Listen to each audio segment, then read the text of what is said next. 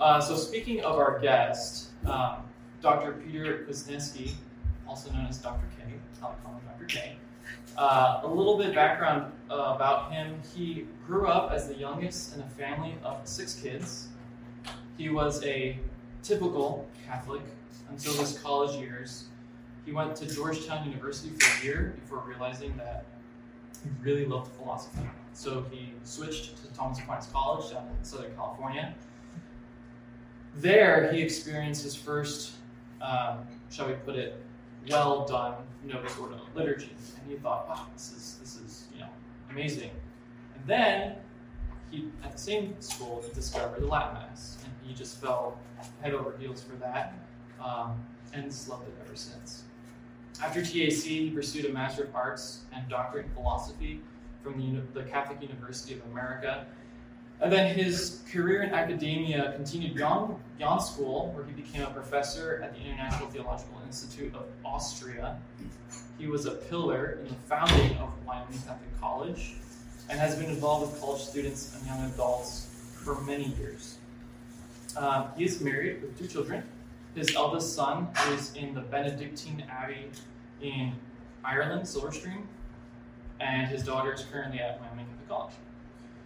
Now, Dr. K focuses most of his time currently on authoring very insightful books on the church, on tradition, music. You've written them.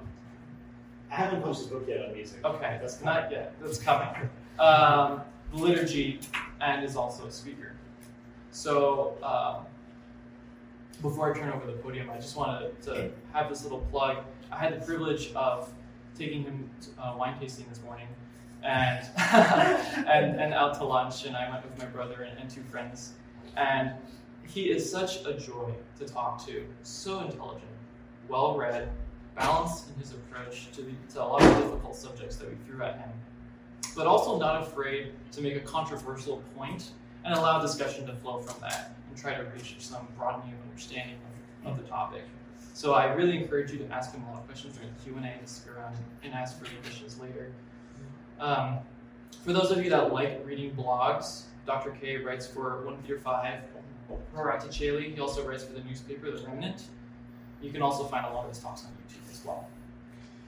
Um, he has authored or edited 19 books, which have been translated into 18 different languages, and which some, some of which will be for sale in the table back there after the talk. And then the last, just housekeeping item. Uh, to the, the Q&A is when you'll ask the questions, so just wait till the end of the talk, and then Dr. K will prompt you all for, for questions. So, now, the moment you've all been waiting for. Dr. Kwasniewski, the floor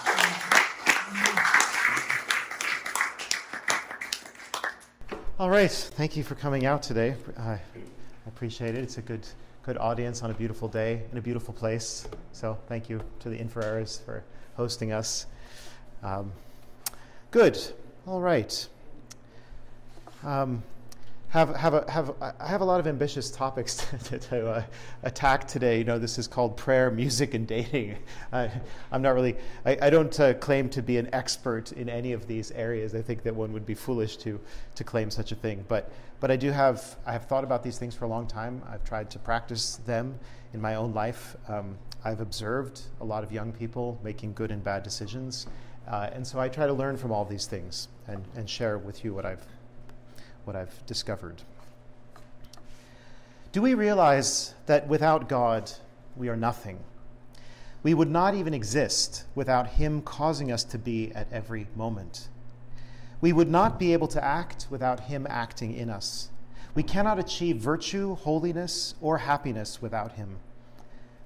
Jesus put it best Without me, you can do nothing. We have a profound need to pray every day. Our interior life will wither up and eventually dry out if we do not have recourse to prayer every day.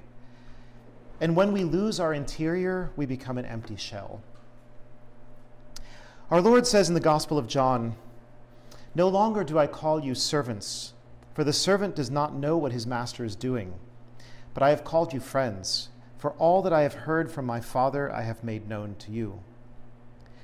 He has given us the gift of his friendship by sharing his life, his truth, his peace, his grace with us.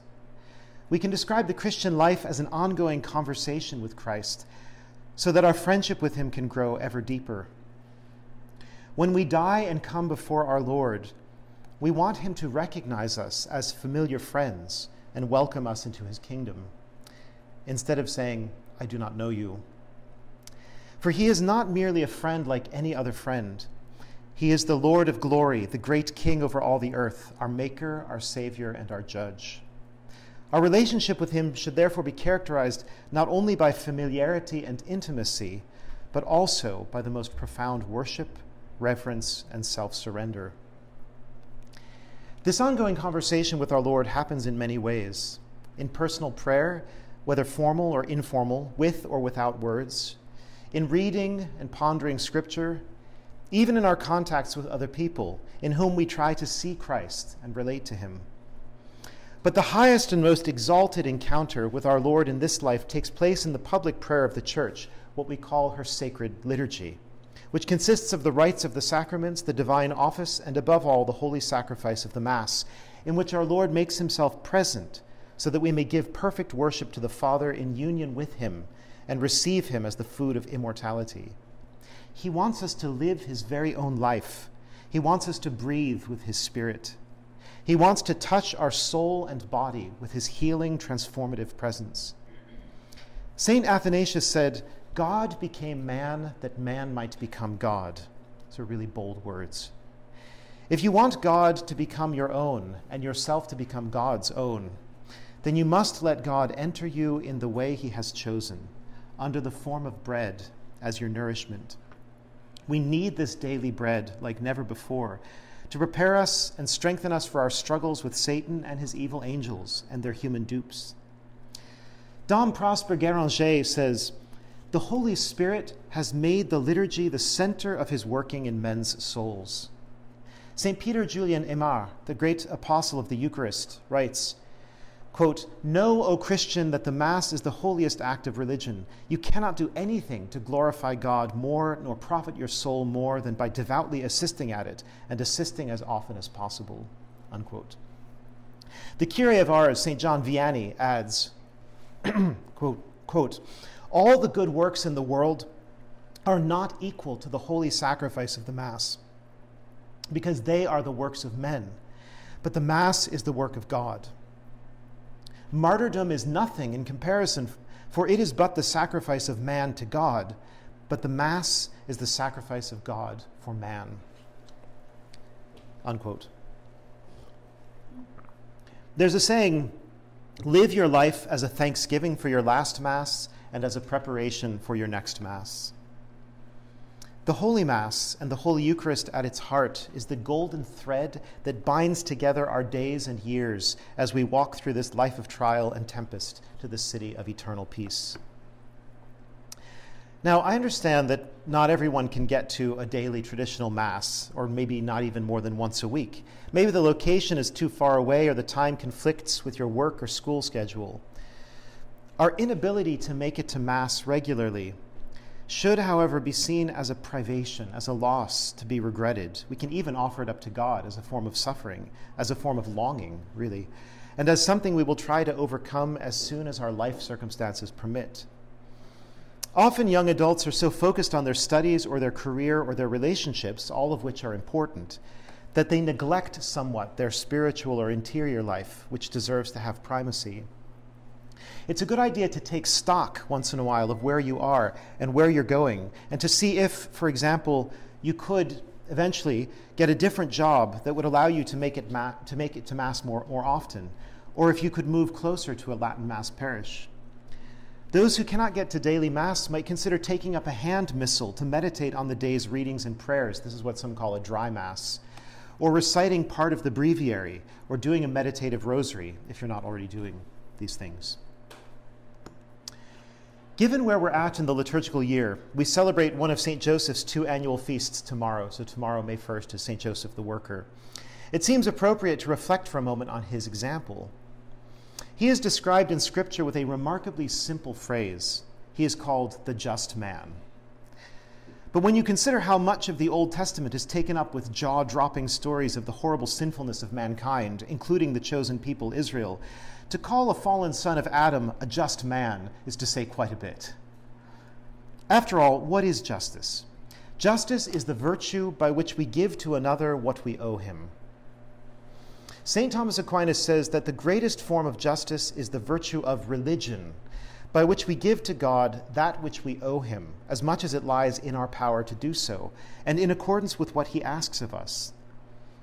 Religion, that is, the virtue of religion, has a number of ingredients devotion, prayer, adoration, sacrifice, and tithing, to name the most important. By our devout will to serve Him, by raising our minds to Him in petition and praise, by adoring Him as our Lord and God, by offering sacrifices, in all these ways we try to give to our Creator and Savior what we owe Him. St. Joseph would have practiced all these virtues of religion to perfection, and that is why he was acceptable and pleasing in the sight of the Lord.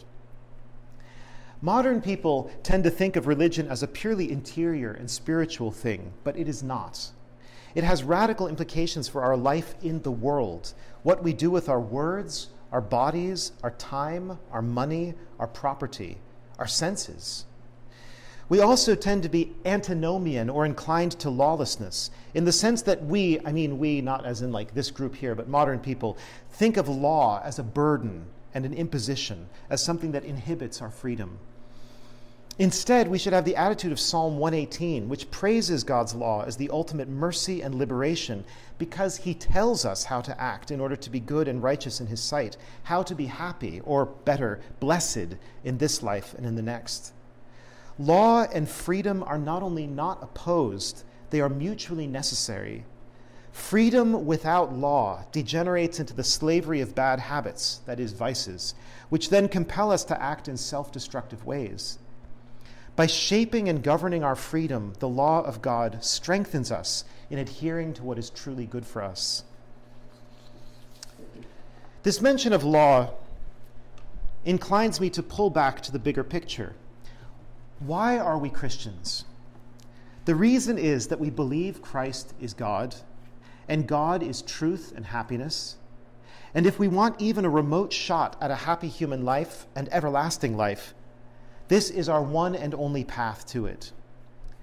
Christianity requires from us a radical commitment of faith that I will be faithful to God, come what may, through thick and thin, because he has already proved his fidelity to me. That is why we have crucifixes everywhere. It is not just the symbol of our redemption from sin and death, that is something done in the past for us. It is the sign of God's commitment to each one of us here and now. As the Curé of Ars said, the Mass is God's sacrifice for us. I once heard an acronym that has really stuck with me as a key explanation of why we tend to be so flaky in our Christian life. The acronym is FOMO, fear of missing out. Have you heard this? Yeah, okay.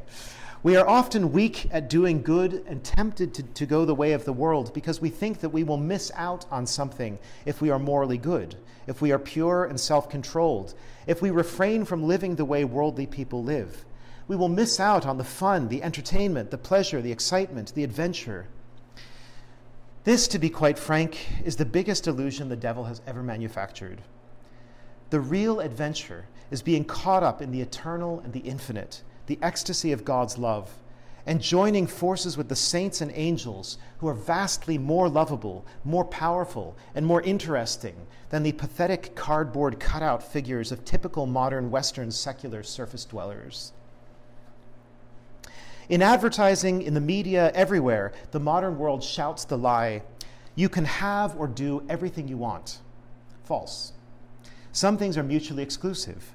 For example, choosing a life of drinking, drugs, or sexual promiscuity will necessarily exclude purity, nobility, stability, inner strength, a conscience at peace, and a life marked throughout by good or even great deeds. You can't have everything.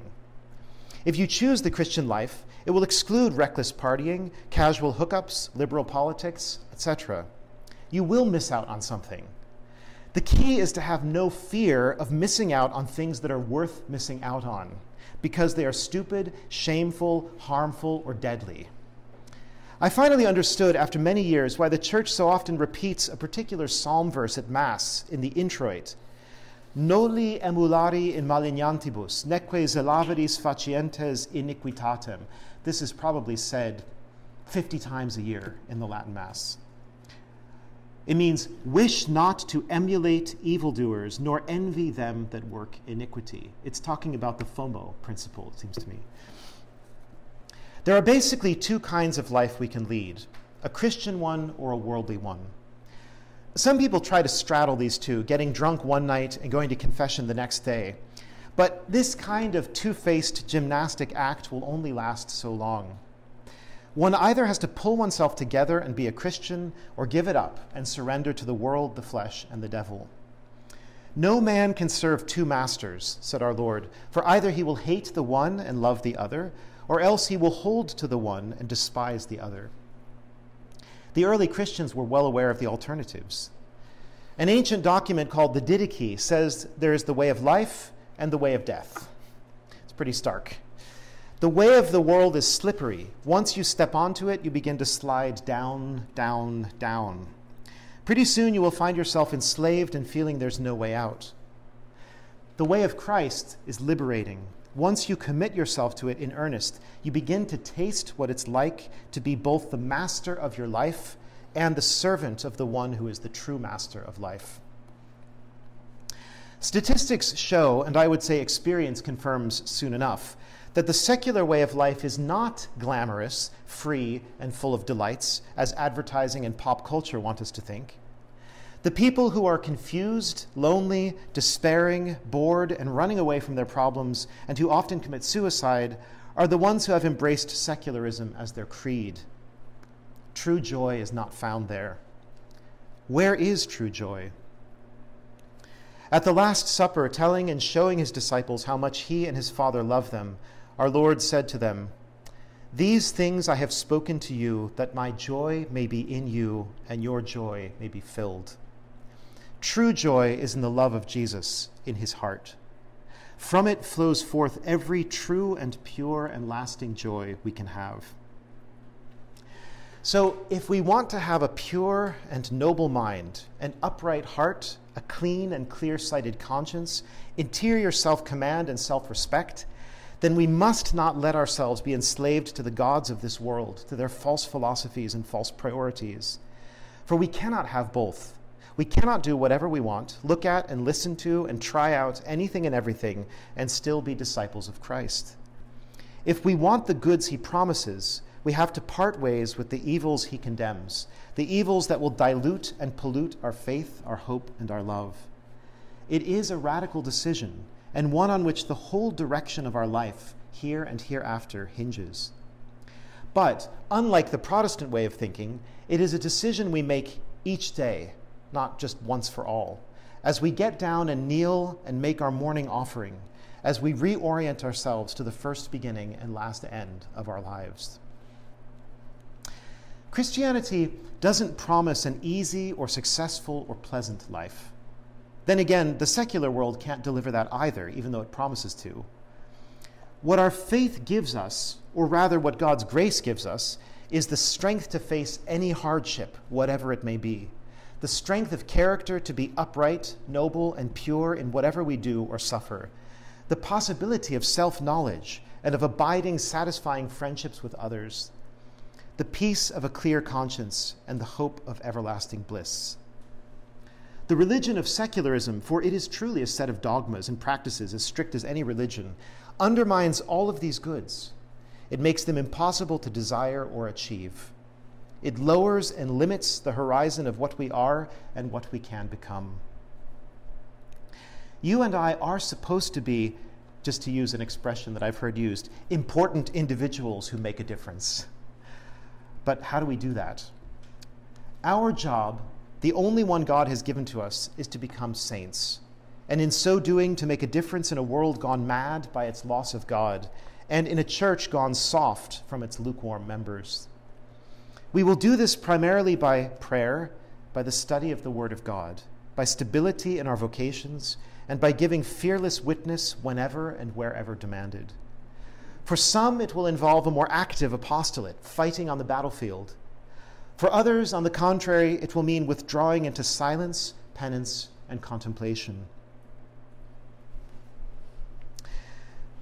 So let's return to St. Joseph. St. Joseph is also the silent man. Not a single word of his is recorded in the New Testament. Not everyone, needless to say, is called to be a Carthusian monk or nun who lives in nearly total silence. But I doubt you will contradict me if I claim that all of us could use some more silence in our lives. God has so much to tell us, such profound and lofty mysteries, so overflowing with indescribable joy, that he does not engage in chit chat or texting, but speaks heart to heart in prayer, in scripture, in the liturgy. That means if we want to hear him, we need to open up a space of silence every day. This is why all the spiritual masters say we should commit some sacrosanct portion of the day to quiet prayer. And we should find ways to reduce the constant noise that surrounds us in the form of music, videos, and social media. Way back in 1935, the poet T.S. Eliot said that moderns are, quote, distracted by distraction from distraction, unquote. What would he say today with Twitter, Instagram, TikTok, and Lord knows what else? I don't even know all the stuff that's out there. Silence is uncomfortable. We flee from it because sooner or later it will make us think about ourselves, about God, life, the universe, our happiness or lack thereof. And these are uncomfortable if we are not yet who, we, who and what we ought to be. Conversely, for someone who is really striving to be a just man like St. Joseph, silence is no longer an uncomfortable no man's land, but a welcome opportunity to be alone with God, yet never lonely. Let me pass on a recommendation I once heard someone else make, which has made a difference to me. When you're in the car or public transportation, don't automatically turn on the radio or stick in the earbuds. Learn to be quiet. Say some prayers or psalms instead. Give yourself plenty of downtime from social media. It's very hard to do, I know it from experience. But the benefits are huge, and even secular people are writing book after book about why our psyche benefits from this downtime. I think it's the new form of asceticism. We need to fast from too much consumption of media. Some recommend the Sunday shutdown, that is, leaving all devices turned off on Sundays. Go to a park and take a walk in nature, listening to the natural sounds the world makes. If you don't take steps to put up appropriate walls, various kinds of noise will invade your life and colonize your mind. And you will become a messy room, cluttered with whatever other people want to put there. And not much room will be left for yourself or for God.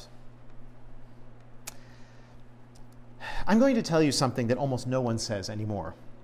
We have to be intelligent and countercultural when it comes to what we watch and listen to. Our habits of movies and music need to be in harmony with our Christian faith. This is something St. Paul was already telling the Philippians way back in the early church when there were similar problems. I mean, they didn't have social media, obviously, but they had pagan festivals full of lewdness and the violent games where spectators would watch condemned criminals fight each other to the death. St. Paul said, quote, Whatever is true, whatever is honorable, whatever is just, whatever is pure, whatever is lovely, whatever is gracious, if there is any excellence, if there is anything worthy of praise, think about these things. Unquote. That's Philippians 4 8. I'm going to read this again. Whatever is true, whatever is honorable, whatever is just, whatever is pure, whatever is lovely, whatever is gracious, if there is any excellence, if there is anything worthy of praise, think about these things. In other words, let your mind be filled with good things. Just as we all know that eating healthy foods is good for the body, so we should consume only what is healthy for the soul. Implied is a warning do not think about, let alone linger over and absorb like a sponge, the contrary of what is true, modest, just, holy, lovely, etc. For that will make your soul less Christian and less fully human. We don't see here the false belief that the way to become a fuller person is to be exposed to a lot of evil, if only vicariously, so that one can better understand it and combat it. I've heard people make this argument before. It's a weak argument. uh, to which proponents of modern media so often have recourse. Pope John Paul II once asked, What truth can there be in films, shows, and radio and television programs dominated by lust and violence? Do these really serve the truth about man? Father Dominic Legge explains, quote, when we watch acts of lust or cruelty, we tend to become more lustful and cruel. What you look on with your eyes, you invite into your soul.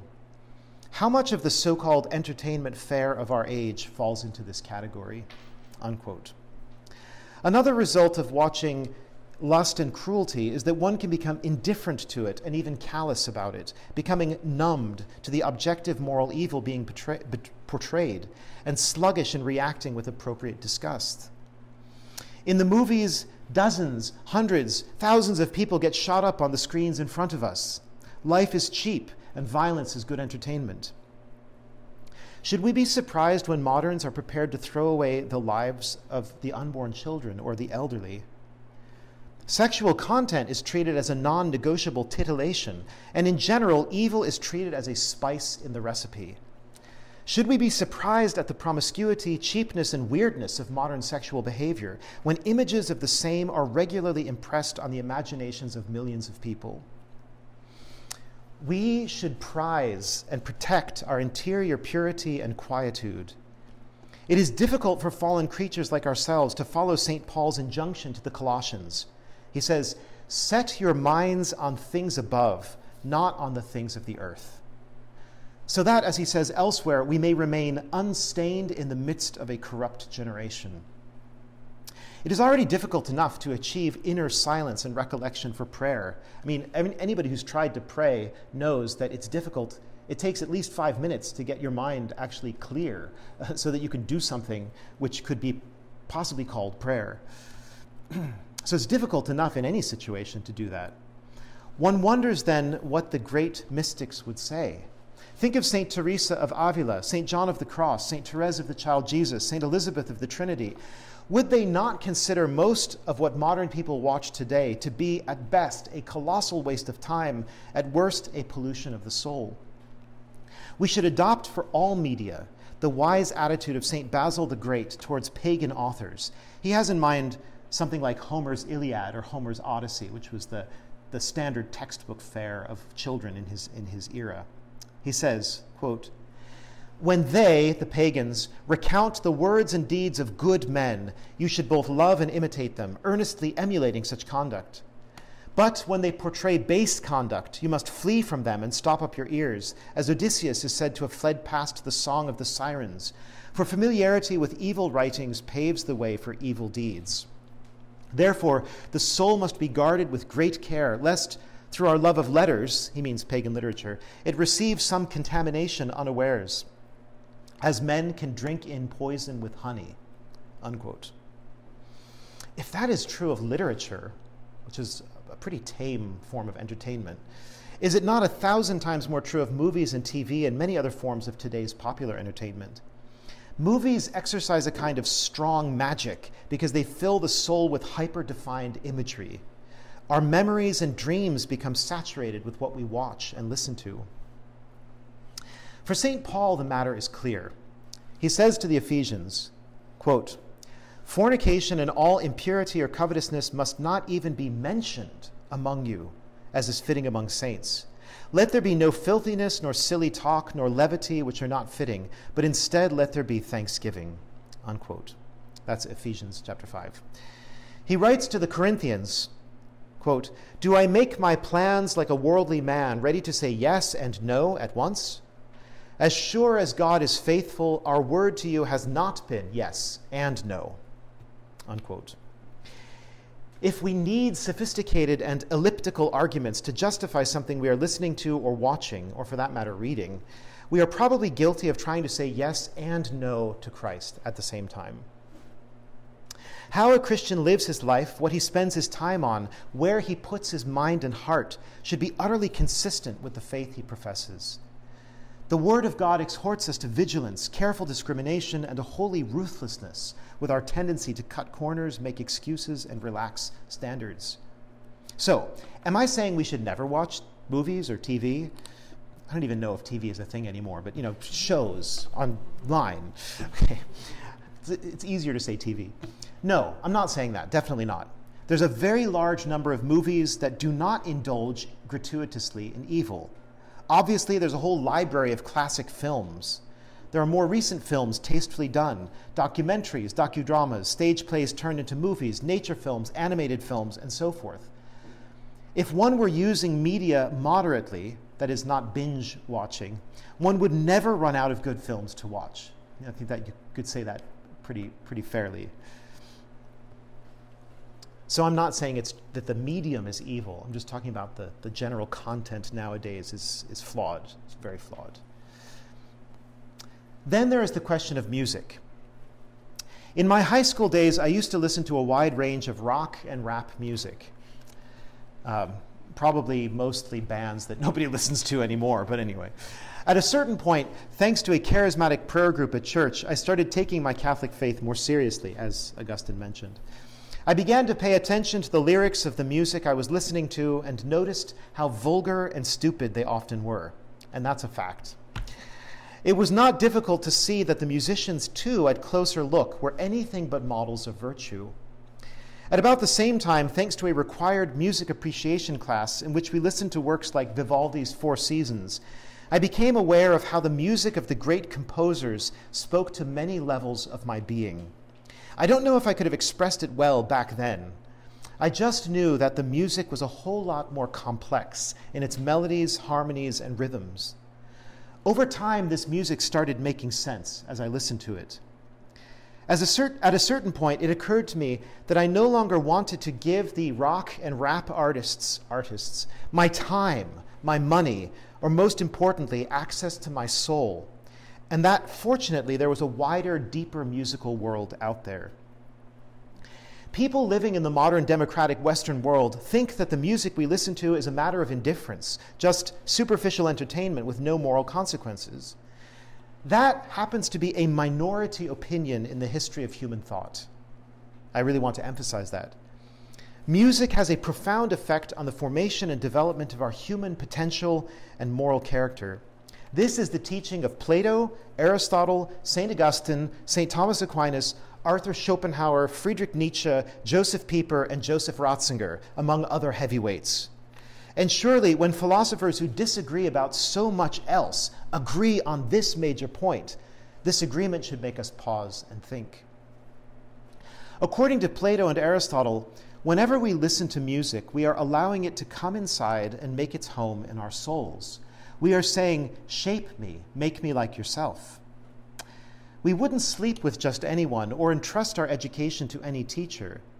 Yet, will we allow sordid characters and their cheap goods to enter the doors and windows of our body and live inside our minds and hearts?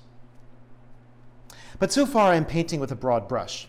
We can be more specific about what's wrong with certain kinds of music and what's good about more artistically refined music.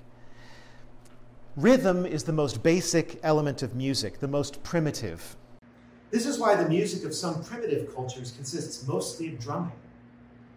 More advanced cultures, presupposing the framework of rhythm, develop beautiful melodies above it. The most advanced cultures, presupposing both rhythm and melody, develop a system of harmony. When you listen to a piece by, for example, Palestrina, Bach, Mozart, or Tchaikovsky, the rhythm, although discernible, is subordinated to the melody and harmony, which takes center stage. Pop, rock, rap, metal, and other such popular styles invert this rational hierarchy of rhythm, melody, and harmony. They accentuate the beat, strip the harmonic framework to a bare minimum, and employ repetitious, unlyrical melodies, if they can even be called that, in order to stimulate the concupiscible and irascible sense appetites in a disordered manner. Now, to put that in everyday language, that means the music is designed to stimulate passions like desire and anger. That's concupiscible and irascible. We are dealing here with music deliberately primitive, passionate, and sensual. It is one thing for such music to proceed from genuine savages who know no better, but it is quite another for it to proceed from the descendants of a rich folk culture and a resplendent high culture like we have. In this case, It is a rejection of one's own inheritance. Not necessarily a culpable one, but just objectively, that's what it is. We are the beneficiaries of over 1,000 years of glorious Western music, a heritage that has no parallel in any other human civilization. This is our heritage, yours and mine, something that has been passed down to us. Each one of us, as a rational animal, as a citizen of the West, and as a Christian, should take hold of it and take advantage of it. As men, as believers, we should be striving for excellence, not only spiritual and moral, which I think most of you, all of you would agree with, that we should be striving for that excellence, but also intellectual and artistic excellence. That's, that's included in human excellence. Now, some music is bad enough that listening to it knowingly and willingly could be a mortal sin. A lot of heavy metal and hard rock, I would maintain, belongs to this category, as well as some of the truly nasty pop music on the radio. I don't, I'm not even going to give examples, it's so nasty. I mean, I, I'm not saying I listen to it, I know that it exists, though, unfortunately. Other music, other music might not be evil in such an obvious way, but it could still be harmful by fostering moral imperfections, like that, that stirring up of anger and desire uh, in, in an excessive way that I was talking about before. Venial sin is bad not only because of the offense in itself, light though it may be, but also because repeated venial sins pave a path to mortal sin. For instance, if we tell a lot of white lies about small things, it habituates us to telling lies about bigger things, right? I think everybody understands how that works. A steady diet of rock or pop or rap carries with it the serious risk of stunting one's moral growth, narrowing one's intellectual horizons, and impeding or clouding one's spiritual life. In a world of commercialized, relativistic, and ideological propaganda, we need to be very careful about the message we are taking in. But am I saying that popular music always has to be bad? That the only good music there is is that of a cultural elite? Are all of us supposed to become snobs? No, not at all. I mean, it wouldn't hurt to develop some cultural sophistication. After all, it's a perfection of our rational nature as made in the image and likeness of God. Yet, the point is not sophistication for its own sake, so that we can, you know, hobnob successfully at a cocktail party. The point is to develop an ear for what is beautiful and what is fitting for every occasion, with all the diversity that life occasions call for. When sitting around a campfire, one should sing folk songs. The, the preludes and fugues of Bach are not so appropriate for a campfire. At a square dance, one should have good old fashioned square dance music. At a wedding reception, one might showcase waltzes, swings, and country dances. This may sound crazy to people living in the mainstream, but I've been to many weddings where the selection of music at the reception is tasteful and where real dances are done by adventurous young people. I suspect it is somewhat like the traditional Latin Mass. The young take to it readily, while some folks from the boomer generation frown at this strange departure from the Woodstock paradigm. Every normal human occasion has well crafted music that suits it. Popular music does not have to be bad. The popular music of a healthy age, like the Catholic Middle Ages with its pilgrim songs and troubadour ballads, is beautiful through and through. All pop music from the Middle Ages was wonderful. Okay. Music to be good does not have to be boring or straight laced or super refined and subtle. Medieval music displays immediacy, spontaneity, innocence. Its inventive melodies, harmonic ingenuity, and powerful rhythmic drive are compelling and captivating. And I, I could, I'm going to give some examples of this music, not today, but I'll, but I'll explain what I mean in a moment. Much the same could be said about genuine folk music. Think bluegrass or Celtic and Scottish music, which has experienced a tremendous revival in recent decades. So the, the, I just was going to just mention a bunch of groups here. On the medieval side and the classical side, there's, there's this group called Hespèrion 21, uh, which is incredible, makes for incredible listening, very, very entertaining music, but also extremely beautiful music. Rolf Lislevand is another. I'll write these people down later. Um, you know, he's, an, he's a, a, a, he plays guitar and and uh, and lute and all sorts of other stringed instruments and just amazing mu- music. And you've got in the in the folk genre um, you know, people like Béla Fleck and the Flecktones, the Chris Norman Ensemble, the Stillwater Hobos, the Hillbilly Thomists, who were talking about that earlier today, um, the Tin Hat Trio, the Kingston Trio. I mean, both old and newer bands. There are so many of them. It's just like what I said about movies. There is so much good music out there that there's no reason to listen to what's inferior. Okay, let's say you're willing to explore the great music, but you don't know where to begin. It can seem overwhelming. Here's where modern technology, which has a lot of downsides, has unquestionably made it easier. On Spotify or any similar service, when you start with a popular piece like Vivaldi's Four Seasons, Handel's Water Music, Bach's Brandenburg Concertos, or Beethoven's Ninth Symphony, Spotify will make recommendations. Start with instrumental pieces and find what you like. You should be able to find something. It's not for nothing that certain pieces in the classical genre have been popular for centuries with every audience. You know, they, they play works like they play works by Tchaikovsky at these big summer free public concerts that thousands of people come to, you know. Listen to these pieces frequently until you get used to them. That's very important. Uh, familiarity, in this case, doesn't breed contempt, but the opposite, it breeds appreciation. Eventually, your tastes will catch up, your palate will develop, just like it does with fine foods, fine wine, and you will find a satisfaction beyond what you imagined possible. Um, I, in my own life, I can just say this. My experience of music was like it was like this big, and as I started to listen to classical music, it just got bigger and bigger and bigger and bigger. And it's, inc- I mean, like the, the, the magnitude of the musical art is just so much greater than most people realize. Right? So that's what I'm encouraging you to explore. This is a positive message. This is a message of expansion, not of contraction. Why is it so important to guard the entry to our soul? Our senses, especially our eyes and ears, are portals or gateways into our souls. What we watch, what we hear, gains entry into our minds and hearts. We cannot unsee what we have seen. We cannot unhear what we have heard. It becomes a part of us and shapes us. That's why we have to take these issues seriously.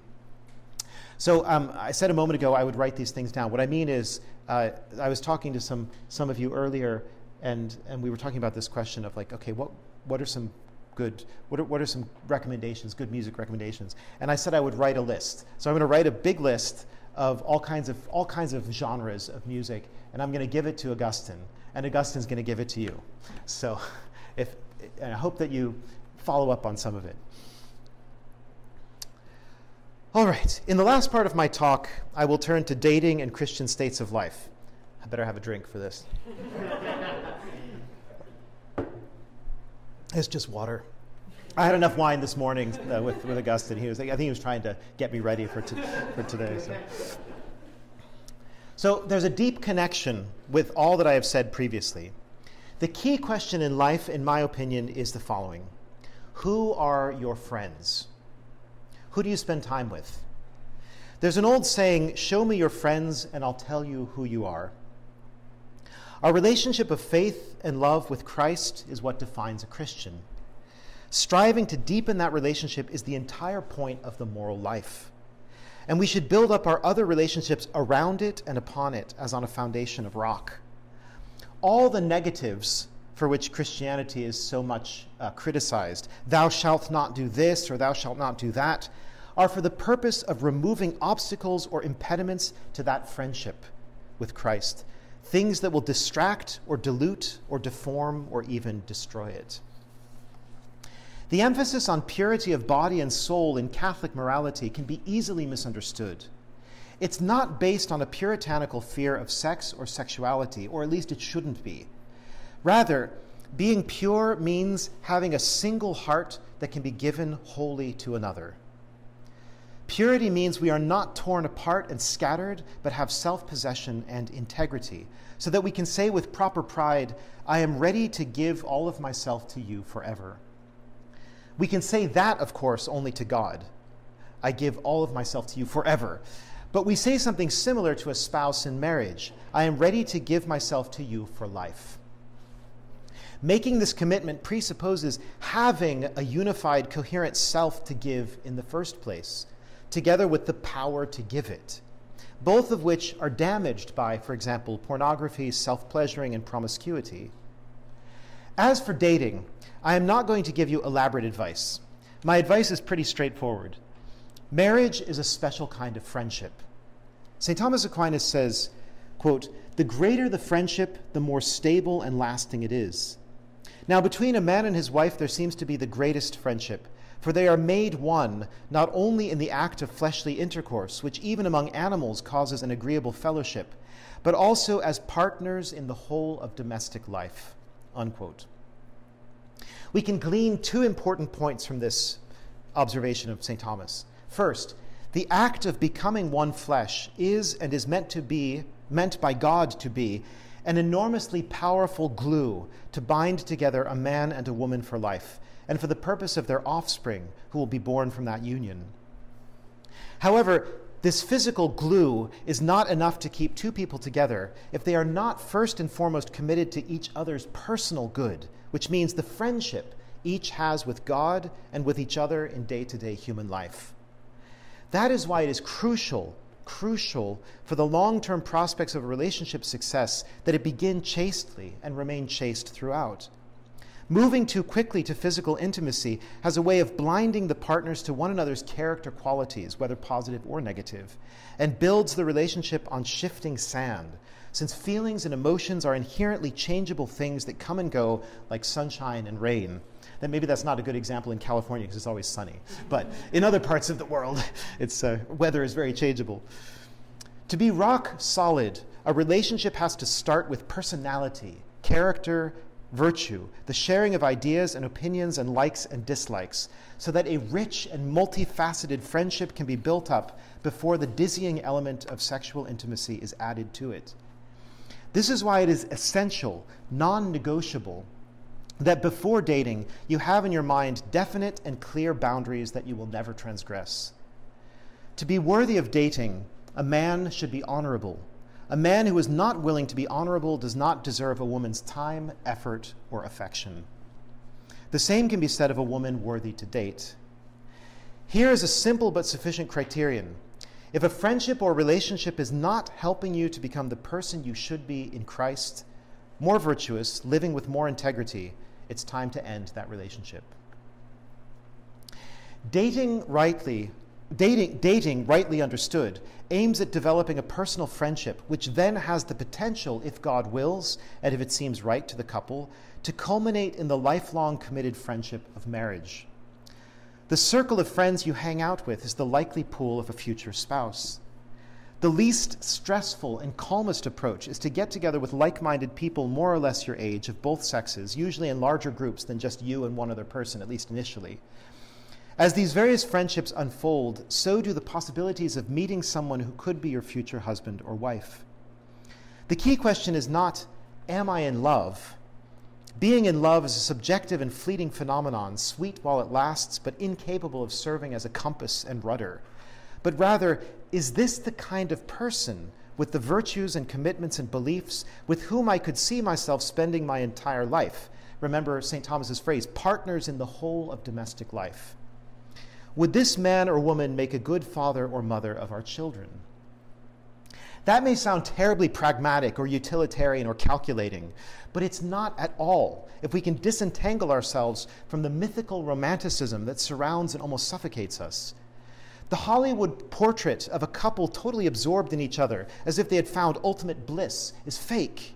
Such feelings usually barely last the duration of a honeymoon. What is wonderful about marriage is not something as superficial as being in love. To love is to will the good of the other. This is what love really is. To love is to will the good of the other, wanting what is best for the other person and working to make it happen. Marriage is wonderful because it provides for the stable, purposeful, self giving love of a man and woman, equipped by the grace of God to succeed in building a meaningful and fruitful life together if they will lean on Him. That is why marriage is worth infinitely more than the freedom of single life, more than a career, more than the autonomy we modern people value so much, indeed, too much. What moderns have lost sight of the most, I believe, and this extends to many Catholics as well, is the beauty of the primary end of marriage children. Marriage is a partnership for life in both senses. It is for always and it is fruitful for new life. God's love is never without fruit, and any love that imitates him will not be without fruit either. So, to think about marriage is to think about more than yourself or even your partner. It is to think about the gift of children God wishes to bring into the world and into the church through your love, your stable commitment, in which He will call forth all you have to give. And this will bring you to your full stature as He intended it. The child, an immortal soul created by God with a body fashioned of the parent's own flesh, the singular fruit of their mutual love and of His eternal love destined for heaven through baptism and a life of faith. This child is the reason God brings a Christian man and woman together. It is not the only reason he brings them together, of course, but without it, marriage would not exist at all. And nothing, nothing in the whole of creation can compare with the value and worth of a single child, a son of man, a son of God. One human person is more valuable than the entire universe of non human creatures. Every bit of land, sea, sky, and space, all the animals and plants, all of it. So take that, you environmentalists. and yet, so many people live as if just about anything else takes precedence over the fruit of the womb. The person into whom God has breathed the breath of life, into whom he breathes eternal life by the sacraments. If we fully understood this mystery, we would die for sheer wonder. And if we understand it just a little, we will never make the mistake of devaluing marriage or denigrating its primary end. Satan does what he can to thwart God's plan, and so he does with each of us if we let him. The devil opposes natural as well as supernatural generation. He seeks to prevent men and women from using the gift of their sexuality to bring more life into the world. He seeks to prevail upon them to kill the fruit they bear. He seeks to lead them away from the source of immortality in the sacraments of the church. Hating procreation, the devil has bent all his efforts toward either preventing it through contraception or destroying its th- fruits through abortion. Contraception is an abomination of desolation in the midst of the temple, which is the human body sanctified by the Holy Spirit. That's the holy temple. Through contraception, the Lord and giver of life is cast out of the temple as if he were an evil spirit, and in his place is welcomed the spirit of lust and avarice to make its home in the barren womb, like a church with no tabernacle and no real presence. When a Christian man and woman marry in the Lord, that is, when they embrace their calling to the full, embracing each other and the children God gives them, they do the greatest and noblest thing on earth from the vantage of the capacities God has planted in human nature itself. The marriage is elevated by Christ, the bridegroom, into a living sign of his unbreakable union of love with his immaculate bride, the church. In this way, Christian spouses show forth to each other and to the world the central mystery of reality the love that moves the sun and the stars, the love that multiplies itself in the joy of giving, the love that overcomes self isolation. To complete this picture, we must consider the calling to the priesthood and the calling to the religious life, because it is only when we look at all of them together that we understand the surpassing beauty of each one.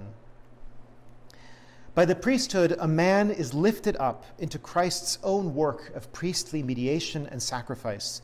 He is made a conduit of grace for the church and for the world, a privileged friend of the divine bridegroom, a worker of miracles, as day by day he turns bread and wine into the body and blood of Christ, gives divine life to infants, restores divine life to sinners, carves off pieces of Satan's empire by the power of his blessing, sends beloved souls to heaven with extreme unction once again, it seems to me that if men understood what this vocation was, the world would not have seminaries enough to house the candidates who would rush to fill them.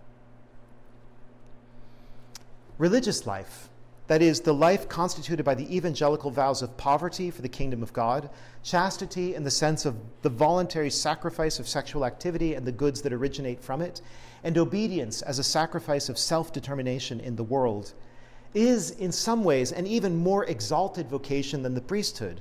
For in religious life, a man or woman lives out the vows of baptism as perfectly as possible, consecrating the totality of his or her life to God. Imitating most fully the God man Jesus Christ, who lived his life on earth entirely and exclusively for the glory of the Father and for the salvation of souls, the monk, friar, nun, or sister no longer lives as befits life in the present age acquiring and possessing private property, bringing children into the world by marital union, retaining freedom about where they will live, what their job will be, etc. Instead, the religious place themselves completely at God's disposal to be His alone and to do His work alone. They are the holocausts, the whole burnt offerings. Their way of life is the royal road that leads more swiftly to the perfection of charity and wins the most abundant graces for the world. As the heart is the hidden spring of life in the body, so are contemplatives, in particular, the hidden heart of the church, on whom all the rest of us rely. And one last time, I cannot help saying, as I did about marriage and priesthood, that if only our eyes and ears were wide open, if we were living in the element of supernatural faith as fish swim in water, the Catholic world would once again look like medieval Europe, covered from end to end with countless convents, monasteries, and priories, resounding with the chanted praises of God and resplendent for their charity to the poor and their hospitality to all. That's why the welfare state wasn't necessary in the Middle Ages. Any Christian state of life or calling, any Christian state of life, is a God given path to maturity, fullness, fruitfulness, holiness, and glory. We will not get these things by staying single. This is why, at the right time and in the right way, we should discern either marriage, religious life, or priesthood. These are the states of life. Singleness is a state of suspension, a waiting platform, a transitional phase until we find the place where God asks us to put down our roots. It's true that some people remain single for life, and that is not in itself morally wrong, but there's no calling to it. No one has a vocation to singleness. There are only three states of life to which God calls Christians marriage, religious life, and priesthood. Marriage is a natural calling, that is, a call from God as the author of human nature, which He created male and female for the union of marriage and for bringing new life into the world and into the church. Religious life and priesthood are supernatural callings, that is, Christ calling someone out of what is natural to man or woman into a total communion, sorry, a total commitment to Him and His kingdom. What will your role be in the reconquest of the world for Jesus Christ? in the spread of his kingdom, in the embrace of his life giving cross. That is a matter for you and God to work out, and he will not fail to lead you if you are generous with him. Be of good cheer, be confident, for he has overcome the world, and you, by his gracious favor, are already sharing in his victory. To him be the glory now and forever. Amen. Thank you very much for your attention.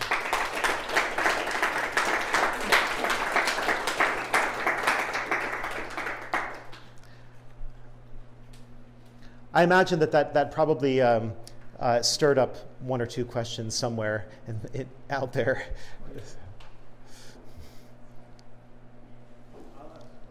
Okay.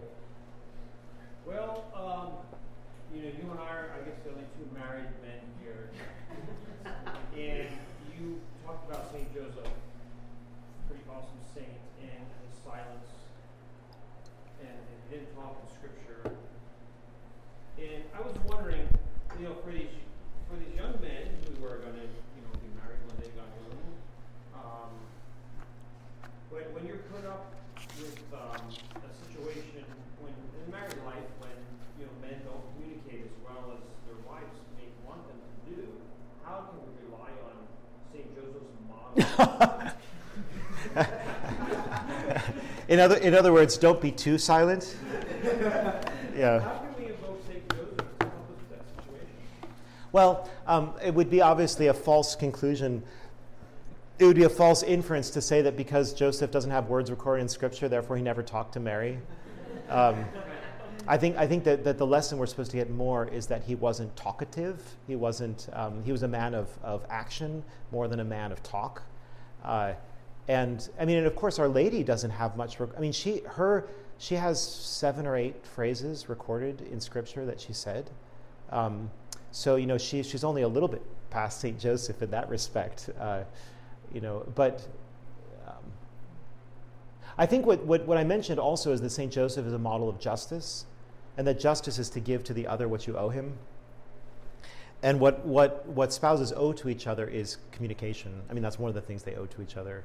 Uh, and and men, men do have a reputation for being rather bad at communication. Um, and uh, as my wife reminds me sometimes, uh, I can't, I, she, as she likes to remind me, I don't know what you're thinking. I can't, I can't, you know, I can't read behind there. So you have to open up and say what you're thinking about this or that.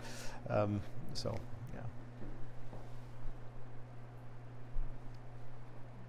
Thank you there. Uh, I was hoping to get your um, to get, get, your thoughts on uh, on a subject I've been thinking about, kind of by way of uh, commenting on mm-hmm. something that's been that, that, just recently came into Catholic news. Yeah. Uh, so it, it recently uh, came out that um, you know the program, the new program, of priestly formation, um, or it sounds like diocesan um, seminaries uh, was recently approved by Rome. And in it, there seems to be widespread adoption of what would be the propedeutic year, the year of spirituality, the first year at the beginning of seminary, to essentially prepare men to learn how to pray um, and in a way to respond to the fact that priests nowadays are entering more into missionary territory than, um, I guess, can we, can we say Christendom mm-hmm. territory. Um, and so the, the question is, um, I guess, that seems to be a well thought, or at least a thoroughly thought out and uh, kind of definitive model for priestly formation. Mm-hmm. But I, I think maybe I'm safe to say maybe I'm open to correction, but there doesn't seem to be something quite as well defined for discernment of the marital vocation. So mm-hmm. I guess my question is, um, do you think one that this is a good or a good way of kind of transposing that propedeutic mm-hmm. concept onto the discernment of married life? Um, or would you kind of mm-hmm. propose something else, something different in, in kind of preparation? So you're, you're saying that, that, that for the priesthood there's a well defined year of discernment? Yes. Um, yeah. Would it be helpful to transpose something like that to married life or? Well, the, the, the thing is that, that um, you know, as I've reflected on these things, it seems to me that there's just there's such a radical difference between priesthood and religious life on the one hand and marriage on the other in this simple, very simple fact. I mean, I'm just going to say something that's as baldly obvious as possible, just that entering the religious life or entering a seminary is an individual decision. You're the only one who has to discern that. Uh, and, and you can, and in fact, St. Thomas Aquinas is really clear about this. Um, this is a whole separate question that I, I'll just comment on briefly because I think it's important. There are two different ways of thinking about vocational discernment in the, in the Western tradition. There's the Thomistic way and there's the Ignatian way. And the, the, the Thomistic way is, is, is, to make it simple, is very objective, and the Ignatian way is very subjective. So the, the, the uh, St. Thomas asks, is priesthood or religious life a good thing? Is it even a superior thing? Do I have a desire for it? If yes, then do it. Don't ask, is God calling me, and, and sort of tie yourself into pretzels over that, but just say, this is good, I desire it, I'm going to do it, period. Then God gives you the grace to do it. That's Thomas's view. The Ignatian view is much more like, am I suited to this? Is this going to, you know, is this going to be the way that I can serve God best? How do I find out from God if this is what He wants me personally to do? And there's truth to both of these approaches, but I, I, tend to think that moderns have become very subjectivistic in general, and we tend to like. There's this problem of you've probably heard this joke about like the, the order of perpetual discerners. You know, like in other words, it, it can be very difficult for modern people to make decisions, to make life decisions, um, and I think part of that is just is a cultural phenomenon. We are just simply not thrust at a young age. Like in every former century, people were thrust to making life decisions very early on. Like by the time you were 14, 15, 16, you kind of knew what you were going to be doing in life. And either you were going to be doing the same thing your family did, or, or you, know, you didn't have a choice about it, or, or you were old enough and mature enough because life was f- so free of distractions that by the time you were 16, you could say, okay, I want to become a Benedictine monk, and then you did, right? Um, in modern times, it's actually, in, in, a, in a sort of paradoxical way, life is so easy for us in some respects that we can postpone certain decisions for a long time and we can kind of coast and cruise for a while and actually have a pretty successful and life and we can have lots of good friends and lots of good times and never actually find like and postpone the state of life question right so then getting back to marriage it seems to me that um, it's a good idea for, I would say, for every Catholic young man and woman. They, everyone should make some kind of vocational discernment retreat. Either, either go to a place that they already love or that they think they might love, or go on a retreat if it's offered by reputable people. You know, you can't just pick it at random. It has to be like offered by the right people, uh, by the right community. I mean, you understand what I mean. Like the Fraternity of St. Peter has good vocational retreats and stuff. Um, you know, everybody should do that to, to think about it and pray about it. But as far as you know, as far as marriage is concerned, it really just it has more to do with meeting the right person, and when the two of you develop a relationship to the point where you can both say, you know, yes, we think this could work. You know, like we're going to take it more seriously, and you just take it step by step. So in other words, the, the discernment of marriage is kind of in in the relationship itself is where that happens. It's not something you can do like a year apart to discern that, right? Um, and that's that's connected with my claim here that marriage is a natural calling. So that is to say, it's a sacramental state of life. It's a Christian state of life. It's blessed by God with with supernatural grace. But in and of itself, it's a natural relationship. That is, all of us are called by nature to marriage. Even priests and religious are called to marriage. They've just sublimated, sublimated that into a different calling. Um, John Paul II was actually really good about saying that even the priesthood and the religious life, they need to be understood in nuptial terms, in spousal terms. That's, that's a very important insight, and it's one that goes all the way back into the tradition. The Middle Ages talks about that as well. So, um, so my, my point is that no one really needs to discern marriage in a certain sense. We're all called to marriage by nature. There's no discernment there. The question is, is, is finding the spouse, right? Not finding, you know what I mean? Like it's like uh, we don't have to find that marriage is a good thing. It's just a good thing. So it's, it's more about the, the relationship then. So, yes. Uh, do you think Christians should use like entertainment services like you know uh, Netflix, Amazon Prime, mm. now like Disney? Because you know like a lot of the companies like there's there's a lot of evil stuff on yes. it, but there's also a lot like some good wholesome stuff. So like the balance between you know before it was meant to subversive, but now they're like more in your face. Like, yes. We have an agenda. We're coming for your kids. yes. yeah. Uh, they're coming for the adults too. So like, exactly. Uh, yeah. And it's like kind of like a form of brainwashing. So like, what's your approach on finding the balance in that? Like, like you're giving your money to these industries, and also yeah. like with investing, like it, like you know, like you put it in like an index fund, you're, you're putting your money. Yeah. It's it's yeah. This is a terribly difficult question right now. Um, so the the easier question I think is the investments question because because uh, I say it's easier because there are there are uh, I, I have investments in the Knights of Columbus funds. And the Knights of Columbus funds compete very successfully against all the other ones. And at least I know that they're not investing in the worst things. I, am sure I wouldn't agree with everything they're investing in, you know, uh, but, but I know that they're not investing in abortion or contraception or uh, I, I, there are things that are like the really like the red flags I know are not a problem there. I used to use Ave Maria investments, but uh, before I switched over to Knights of Columbus, and they're also quite competitive in the market. So basically, Catholics now, if they want to do their own investing, it's even easier because they can just choose which companies they're going to invest in. I, I guess the, the, the, same question comes up with like, can you buy stocks in Apple Computer? You know, like this massively pro LGBT company, right? Should we buy stocks in that company? And you know, I've just I've I've known very good Catholics, very serious traditional Catholics who come down on opposite sides on that question. Like some of them say, look, Apple is a company. I'm not in charge of their company. I'm not in charge of their of their policies. They build good computers. They're building a product that's useful to people. It can be used for good or evil. That's up, that's up to the free will of those who are using it. And I'm just investing in this company as a technology company, and that's all I'm doing. And then other people say, no, you can't separate the company's policy and its politics and so on from what it's producing. So you shouldn't invest in that. Um, and I don't have like the I don't have the perfect answer to that question. Um, as far as something like I think it's similar with Amazon. I mean, for example, okay, I'm an author and all of my books are available on Amazon. And some of my books are available only on Amazon, okay?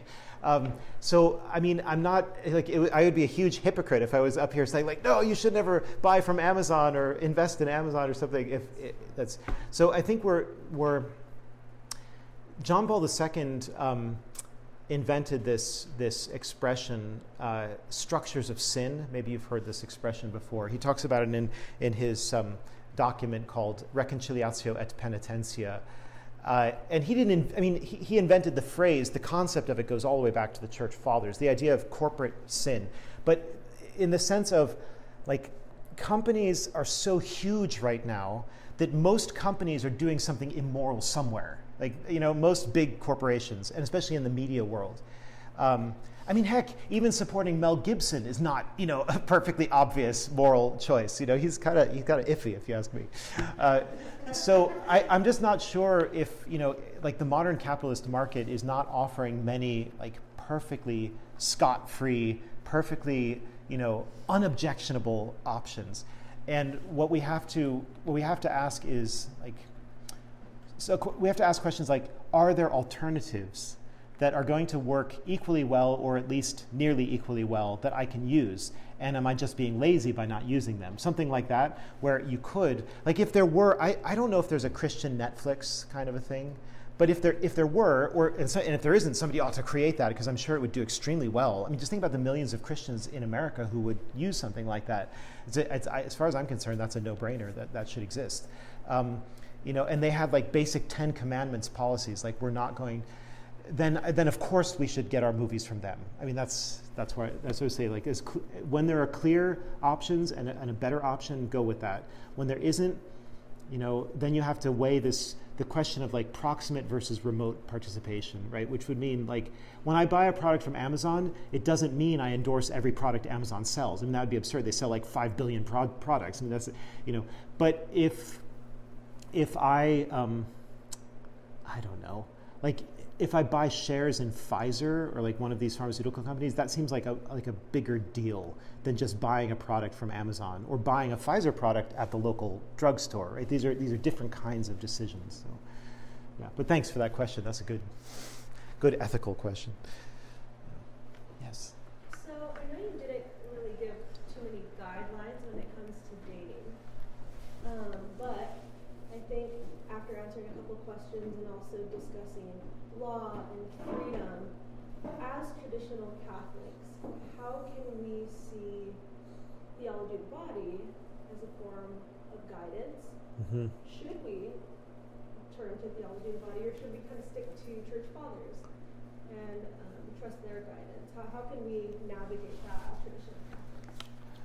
Well, um, I guess the, the practical, the initial practical question in response would be what does it mean to be guided by theology of the body? I mean, that is, what, what is there uh, in, in it which would have a practical function in, um, let's say, dating and finding a spouse and getting married? It's, it seems to me, in other words, that one could do all of those things successfully as people have done for thousands of years without theology of the body. So, in, on a practical level, I wouldn't see any need to focus particular attention on it. Um, on the other hand, I, I, do disagree with some of my fellow traditionalists who, like, they think that all theology of the body is all heretical. You know, they have all these reactions to it, and I definitely don't agree with that. I think that it's actually, I mean, I think, I think the problem is that there have been some popularizers of it. Um, I'm not going to name any names, but there have been some popularizers who've who've tried to to sort of um, take John Paul II's theology of the body, which is fairly sophisticated, you know, in terms of its philosophy and theology, and they've tried to to um, distill it into like little pamphlets and booklets and things, you know, and make it. They sort of jazz it up and make it all exciting and stuff. And I just think eh, it starts to become sort of tasteless at a certain point. Um, it seems like it seems like one should, if one is going to study um, the philosophy and theology of marriage and family and human sexuality and, and anthropology. All these things are important subjects. One should study it seriously and not try to get like the like the Kool-Aid, you know, the, the popular version of it. That's that's typically going to to be superficial and, and maybe tilted in a way that is it's too tilted towards trying to appeal to modern secular people and like and you know kind of like you can be cool and Catholic at the same time. Well, there's a sense in which that's true, and there's a sense in which that's not true. Especially if, if people have a distorted view of what coolness means, then it's not true, right? Um, if it means like being like Pier Giorgio Frassati, I mean, he was cool, right? Everybody get like, look at the guy, right? Uh, but you know, he's like going out there with these like anti-fascist clubs and like you know, I mean, he was great. When you read about the life, if you haven't read the life of Pier Giorgio Frassati, he was incredible, and he's he's like uh, you know he's like the most virile saint you can imagine, and very funny and daring, and you know just an awesome person. Um, but you know, so he's cool in a Catholic way, right? Um, not in a secularist way, right? So that's. I hope that's something of an answer to that question. Yeah. Yes. Uh, so you mentioned dancing and music earlier. So I, have been more engaged with the traditional side of Catholicism for about five years now. And I remember one of the an interesting thing I've noticed is uh, there will be traditionalists who say like no dancing at all. Like you mentioned, like square dancing stuff like that. You know, they'll be quick to quote like Saint John. Yes, yes, yes. Or even like Saint Charles Borromeo when he was bishop of his diocese. You know, the, the penance just for dancing was like three years. Yeah. And I, I, I'm sure like it's easy to see. Okay, certain forms of dancing, very modest, immoral. But what would your Like, response um, to someone like Saint John Vianney who would say, Right. just flat out all dancing Yeah. is a sin? Yeah, so, so, so dances like the tango, are obviously there's some there are some issues there. Yeah, I mean, But- here in California, you know, it's, not too long ago, there were priests, uh, like Mexican priests, who even thought like the waltz was immodest because Mm. people were too close to each other. Yeah. So, okay, this is a very interesting question to my mind. Um, first of all, and most basically, St. John Vianney or St. Charles Borromeo is not the same thing as the Catholic magisterium. I mean, they have their opinions, and we shouldn't just laugh them off and say, oh, there's nothing to that. That would be foolish. But to, to quote them as if they were like the gospel according to St. John Vianney, I mean, like, no, they don't have that authority over us. Um, it's an opinion. It's an opinion that is as weighty as any one holy person's opinion is weighty, and there are lots of holy people, not just St. John Vianney. Um, so I think, I think that's one point to bring up. Um, another point to bring up is that, you know, there are, in fact, different, like, there are lots of different situations and circumstances in church history that we're dealing with, and culture. Culture does change for the better and for the worse in various ways at various times, and I would I would imagine from what I what I can tell about Saint so Saint John Chrysostom I'll give his the example of him. Saint John Chrysostom also thunders against people dancing at weddings. He has this huge homily where he's just ripping into people about this well if you if you study the history more the dancing the, the dancing that was done in John Chrysostom's era was very pagan and very lascivious and very it was the only kind of dancing that, that would have been done was what the pagans had learned how to do there wasn't like Christian dancing yet you know nobody had invented this concept um, so he was railing against it because they were basically taking pagan customs and bringing them into, into Catholic weddings. And I think that's, that kind of thing still happens today. I mean, I, I find it frankly really disturbing. In fact, I won't go to wedding receptions anymore if they're just going to be like blasting the most secular music to the point where it just shatters your eardrums. And like you've just been to this beautiful wedding mass, and then you're going to this like Lupercalian, Bacchanalian, like just obnoxious thing. You know, it, it to me it's so discordant. Um, so I think that we still need to be di- very discerning about that, and we need to ask like, what, how would, how can we have fun in a way that's like really Christian, really modest, and really, um, I think it's possible. I mean, it just takes more imagination and, and a little more effort, a little more thoughtfulness that, that can go into it. And I think probably most of you have been to you know real dances by which i mean where people are not just like gyrating around but like they're actually they're actually just but but they're they're actually like doing couple dances or group dances which actually i know this from experience because i saw this a lot at tac and then at wyoming catholic college where we do a lot of those sorts of things those dances are actually way more fun. I mean once you get into it once the kids know what they're doing with the line dances with the folk dances with the waltz and the swing and those things they're just they're actually just inherently better. They're superior forms of, of entertainment and of exercise.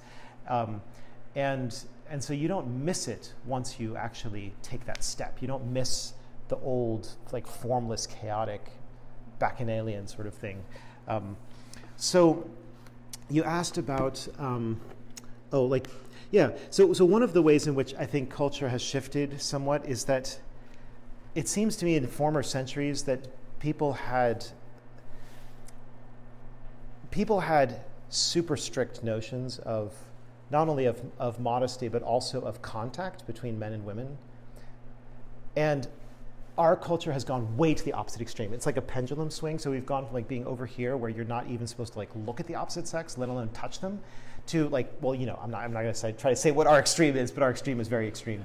Um, and so it seems to me that really there would be a virtue in trying to find the right mean between those two things.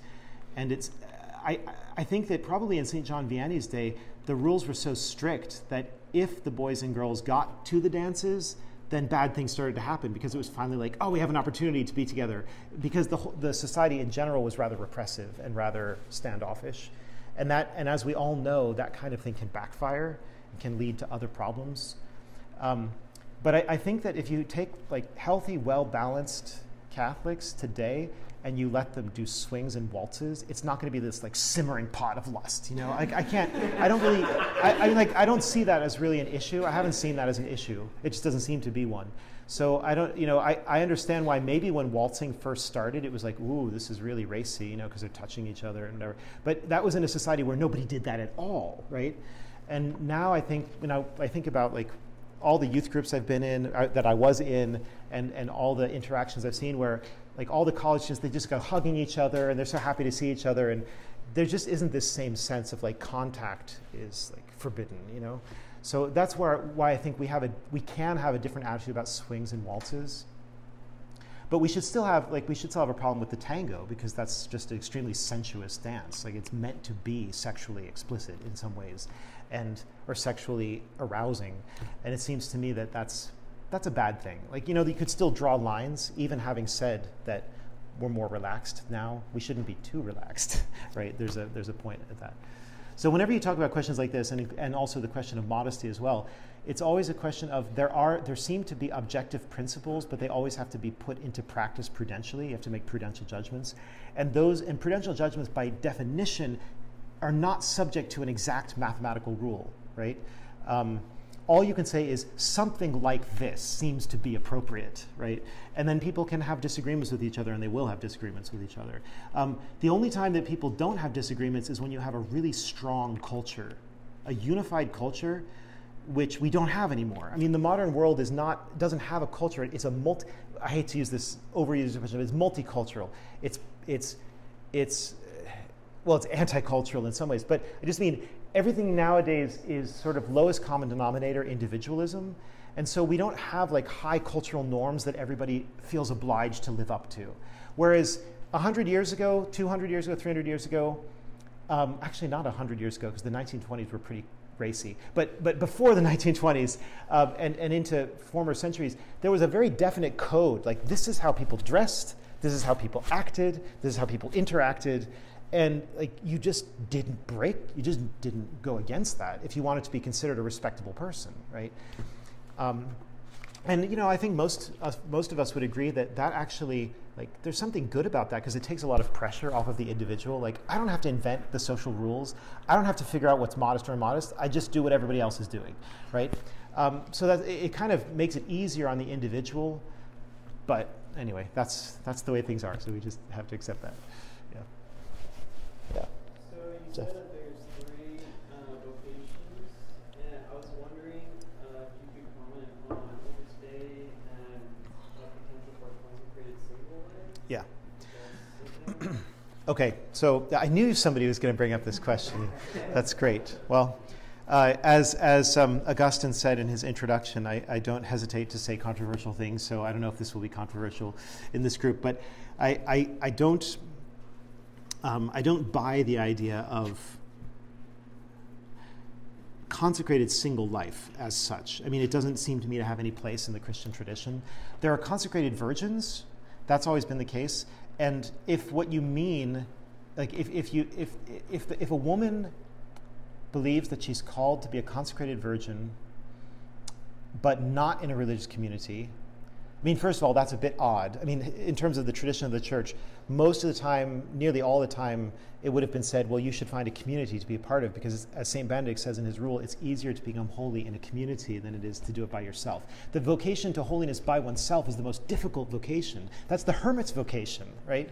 Um, and it's even harder if you're going to try to be a hermit, like a, a, consecrated virgin, in the middle, in the midst of the world. I mean, what are, what are they doing? You know, it doesn't really make sense. You know, um, if you're going to be in the world, you should be in the world, but not of the world, you know. And if you're going to be consecrated to the Lord, you should step out of the world into a community of people who are doing that together and supporting each other um, in that endeavor. So um, I guess with, with Opus Dei, um, you know, the, the numeraries, I've known some of them, uh, very good people. I mean, they are living together, so they have some kind of community. Some, they have a fraternal, fraternal relationship with each other, and they are supporting each other and praying with and for each other. So it's kind of like it's kind of like a religious order, but not really. You know what I mean? So that, that is canonically speaking, it's not a religious order, but de facto they're living as if they're plain clothes religious. Um, and you know, it's anomalous. Um, I don't know. Like, does that make it wrong? I, you know, is it impossible for the Lord to raise up a new form of Christian life like that? Well, I mean, how dare I say that? You know, that like he, you can't do that. It just seems odd. It is odd. It's anomalous against the backdrop of the way that religious life has developed um, in the West, and I think it developed that way for good reasons. So. So that's my kind of non-answer answer. I hope that was that was all right.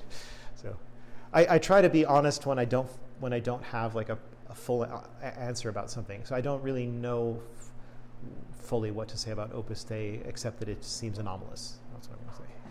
So, yeah.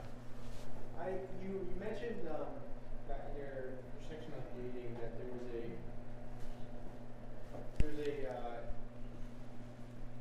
could you speak to more about the the, the concept of romanticism or over romanticization? Yeah. Um, and specifically in terms of um, perhaps seeking that over over marriage Mm-hmm. itself, like and the relationship between the two. Yes. Yeah. So I mean, I, I'll I'll just say, to be honest, that I was probably a bit hard on in my talk on the notion of being in love. So I'm not I'm not trying to I'm not trying to say that it's a bad thing for a man and a woman to fall in love. I'm not saying that's a bad thing. What I'm saying is that I'm saying two things. One is that it's um, it's dangerous to let the state. So be, being in love or falling in love is a heavily emotional state to be in, and emotions are good, but they need to be subordinate to reason and to free will, and they and, and they have to be subordinate to the long view. Whereas feelings, kind of by definition, are about the short view. They're about right now, and not the long view, like five years, ten years, twenty years, fifty years, right? So without killing feelings, we also don't want to be submerged in them and completely dominated by them and driven by them, right? Because that leads to bad decisions, or at least sometimes it leads to very regrettable decisions.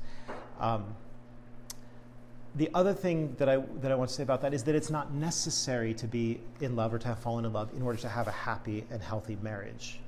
And that's the thing that's harder for modern people to grasp. Like we, we think, how like is it really possible for a man and a woman who are friends and who, who like each other as people just to say one day, let's get married? You know, like you know, not have this like magical like glimmering, you know, you know, going between them, right? Um, and it and it seems to me that that just happened everywhere. That was like the main way most people got married that way for most of human history. That is not having this tempestuous involvement with each other, but just seeing sort of clearly that this is a good partner and this is like somebody that I could live with, and you know, and um, and and in, and in fact, the extreme example of that are societies with arranged marriages, right, where where nothing is based on. I mean, it's not. It's not. It probably. Yeah, I'll give you an example. I knew this couple from India uh, who were students of mine in Austria because um, I was teaching at an international school had people from all over the world.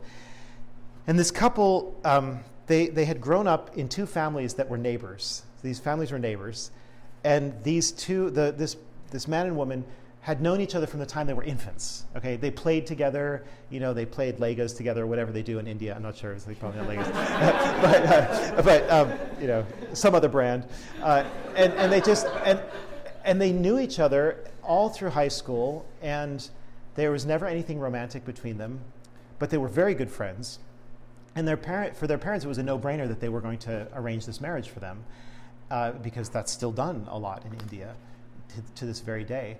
And the two of them were quite content. I mean, it, it, they were very obedient to their parents, and they said, "Well, if you, you, you," basically their attitude was, "Mom and Dad, you know us better than we know ourselves, and you know that we've known each other for all these years, and so if you think we should get married, then we'll get married. And they did, and they were very happy together. I mean, I have to say, they, they seem like a great couple, you know. Um, so I think sometimes we need to sort of retool our understanding and, and, and be more personalistic about marriage and less emotion driven about it. And I do, I, anyway, I hope that helps to say that. Yeah, I guess only way aside is that um, it just seems that in modern society, I think even among Catholic, practicing Catholics who desire to be married, it's a uh, almost a substitution of this romanticism from, from what I can see, a roman- substitution of romanticism for marriage, and often Mhm. people don't. It's they don't, they don't even like real, realize it. Like they don't like parse it out in their Mhm. mind. Like like you're like uh, it, I guess it's just an aside of what you're saying, right? You had this this couple, the Indian couple who were who were very good friends, and they were personalistically they in a certain sense they sought marriage with the aid of their their society, right? Yeah. Their parents. Yes. But um, it wasn't any sort of romance that came out of that was subordinate, and it was sort of at, an out outflowing of them Yes. both in a certain sense, Well, exactly. And, and just given, given, given the way human beings are built, you know, the, the, the relationship of, of that couple, the Indian couple that I knew, they seemed genuinely affectionate towards each other. In other words, it wasn't just a relationship of utility. They, they, they, they grew to love each other in a way that was emotional, um, but it began more with a rational decision. That's kind of what I'm getting at, is that it doesn't always have to. I think what ha- often happens in the West, in the modern West, is that people fall in love, and then after a certain time, they say, we should think about getting married, right? but it's also possible to start with we should think about get, getting married and then to fall in love later i mean in a certain sense right to let the emotions kind of follow that can that certainly does happen um, and i've seen it happen so anyway at least it's it's something to think about yeah. yes Uh, going back to liturgy, like the first part of your talk, um, what would you say to, so for instance, like in the West, uh, s- thinking mainly about uh, Latin tradition, I mean, we, there's Novus Ordo, there's um, the traditional Latin Mass, and then on the East you have you know, Byzantine Rite, Melkite Rite, um, etc. What would you say to someone um, that is well, some some uh, even like myself, sometimes I would be like, well, you know, I really like the beauty of the Byzantine rite, but I also like the TLM, but oh now so and so group is going to the Novus Ordo, and they're just kind of like, I'm I'm not really in any particular tradition, mm-hmm. but kind of taking bits and pieces here and there. I've heard on the one hand that well that's kind of enriching because you're getting a little bit from the east, a little bit from the west, and you're kind of putting Mhm. them together and you're enriching yourself. But then I hear on the other side, well, you're you're not focusing in on any particular rite, so you're not Mhm. informed. What, Mhm. what, what would you say? Yeah, no, I, I, I think I think that it's it's uh, basically a liturgical tradition is a school. It's a school that has a curriculum, if I can put it that way, and the curriculum is consists of the cycle of the of the liturgical year, all the texts, the propers of the liturgy, the music of it, the ceremonial of it, the vestments of it, um, all of those things. All of them together form an annual curriculum through which Christians are supposed to pass and and, in, but it's different from a school curriculum in the sense that when we finish, you know, I don't know. Uh, something like algebra, we're done with it. Probably, we're not, probably not going to go back to that. But with the liturgy of the church, because it's dealing with with the the eternal and infinite mysteries of God, we keep going through it year after year, and that's because each year we ha- we're going to learn something new as we go, grow older and we have more experience, and as and, and and as God Himself gives us more grace, we will learn more and more and more. So that's basically how I see the liturgy. It's enrolling in a school, in a sense, right? I mean, I, if you have a positive view of school, you can use that metaphor. If you don't like school, then you have to think of a different metaphor that's going to you know make it sound more appealing to you. Um, but since I'm a prof- I, I was a professor, that's kind of the metaphor that, that I think of. So um, it would be really strange, like if you were enrolled in a program, to just like drop it and go and visit some other school and take some courses randomly, and then come back and then do another one. I mean, like it would be, it would give you intellectual indigestion. You know, you wouldn't get what you're supposed to get from that school of spirituality. So I, I, I would say, to put it as simple as, po- as simply as possible, that it's okay to be an, a liturgical pilgrim from time to time and make a pilgrimage, so to speak, to visit someone else's liturgical rite, and to to experience the richness of that and to, and to give you a better sense of the Catholicity of the church, but not to be a liturgical nomad, right? So a pilgrim is one thing and a nomad is another. A nomad is somebody who moves around and has no home. A pilgrim is somebody who has a home but occasionally goes away from it for a, for a spiritual reason, you know? And I think that, you know, uh, and obviously in my, in my life, it was hugely beneficial to me. I was in a situation where in Austria, where we had the only way I could get to the traditional Latin Mass, which is my, my passion, was to drive on Sundays, quite a distance. We either had to drive an hour in one distance, like it was in, yeah, it was an hour in one direction or an hour and a half in another direction to get to Latin Mass. Um, and so we did that on Sundays. But on weekdays, what we had was the Byzantine Divine Liturgy, um, celebrated by Ukrainian Greek Catholics. Well, mostly Ukrainian Greek Catholics. There were some Romanians and some Slovakians as well. But anyway, so they kind of took turns. And, and as, because we wanted to go to, to liturgy daily, we just went to Byzantine liturgy during the week. So that was a kind of circumstantial reason to go. It wasn't that I was choosing to, to go to that versus the other. Um, but I, but I, I really benefited from that hugely, and I learned so much about my faith and about the liturgy from that experience uh, that has, if, if, any of you, if any of you ever read uh, any of my books, you'll see I frequently talk about the, the Greek or the Byzantine tradition because, uh, of, of, because I find that it illuminates the Western tradition. They both illuminate each other, actually. The, the differences between them help to disclose the underlying continuities. Uh, and, and also, I mean, uh, not, not, not that I want to dwell on this, but they also expose, when you compare the traditional rites of East and West, they expose the big flaws of the Novus Ordo. The Novus Ordo doesn't pass the smell test, you know, of, of, of all, if you look at all the traditional liturgies and then you look at it, they're, they're built on different lines. Um, and so that's, that was also something that was kind of a light that went off in my head you know, through that. So. Yes? Uh, how long do you think a guy and a girl should be friends? And how did that work out in your, your marriage? Um, b- before, before what particularly? Like, like, uh, like proposing or talking about marriage or what exactly? Uh, before you started like dating. Oh, I see. How long to be friends Yeah. before having? Yeah. Well, and I, I guess part of the difficulty of even talking about dating is that there are different definitions of what it means. Um, and I'm not even sure if I know all of the different possible meanings it has, but I guess it, it seems like it seems like the basic idea is.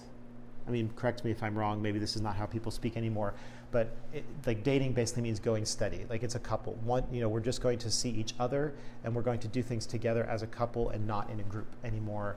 And, and so there's a kind of like implicit commitment that, that we're going to try this for a while and see where it goes, um, as opposed to just like casual meetings. Like you could, like a boy could meet a girl for a cup of coffee, and it's not a date necessarily, and it's not or doesn't have to be. And and and certainly by going out for coffee, they're not dating. So that's how I see it, is as like a more of a long-term exclusive and a more serious um, uh, relationship. That's that would be dating.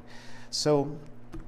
Uh, yeah, I mean, I think part of the part of the problem with answering that question is that you know I've I, I've known some couples who like like the guy the guy and the girl met and they instantly like hit it off with each other and they started dating and they were married within like six months. I mean, I've, I've known situations like that. That's pretty rare, but it happens.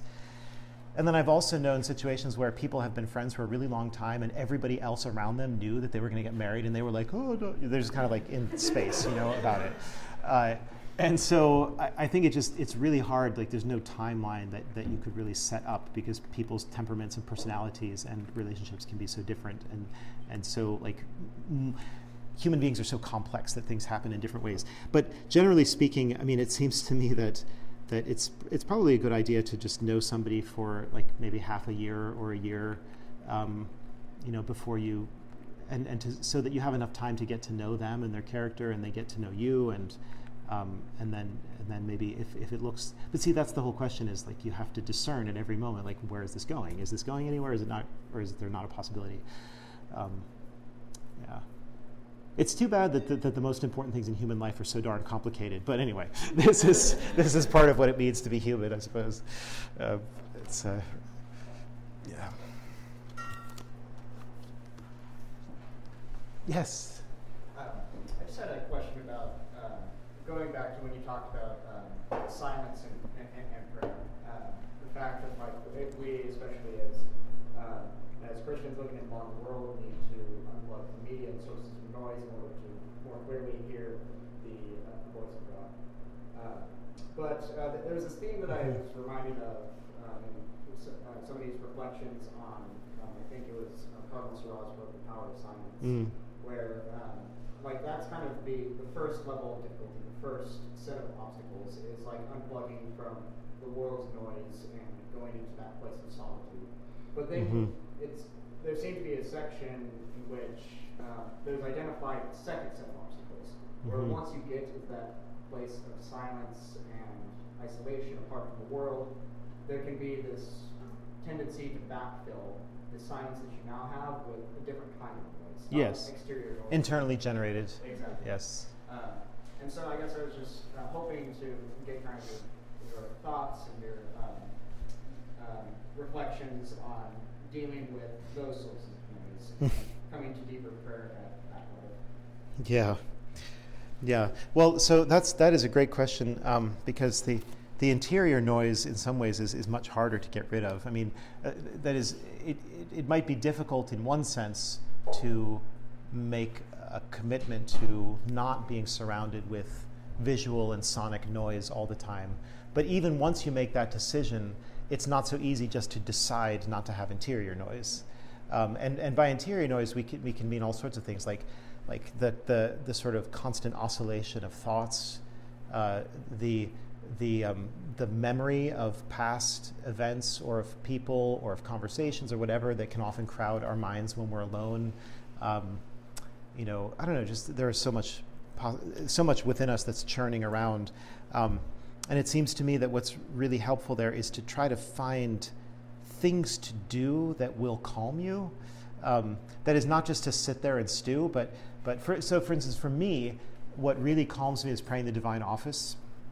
And I find that like even if I'm even if my mind is really racing at 100 miles an hour for some reason, if I sit down, I, so I light some candles. I, I mean, I'll just tell you, I, in my room I have a big icon of Christ. There's a big Byzantine icon. It's like this big. It's on a board, uh, and then I have in front of it a bunch of little icons, and I have candles in front of all these things.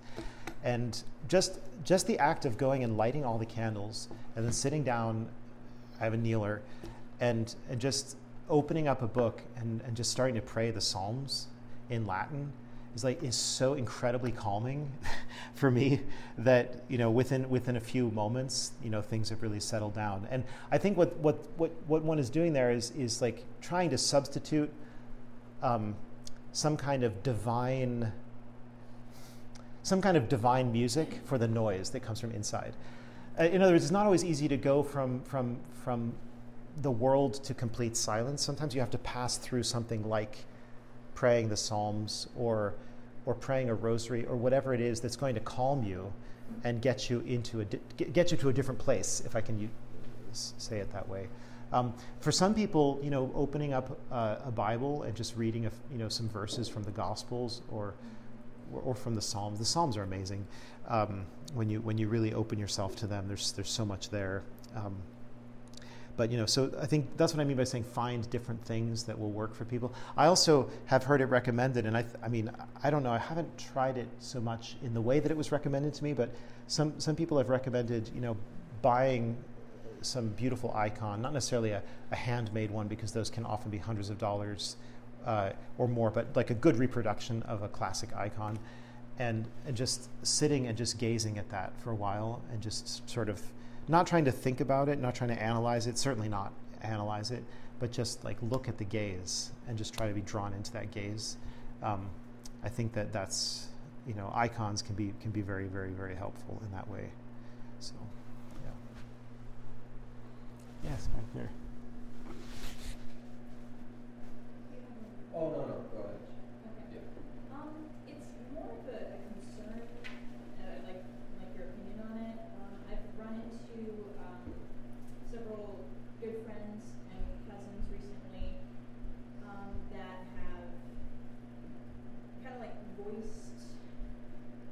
not wanting to get married until much later in life mm-hmm.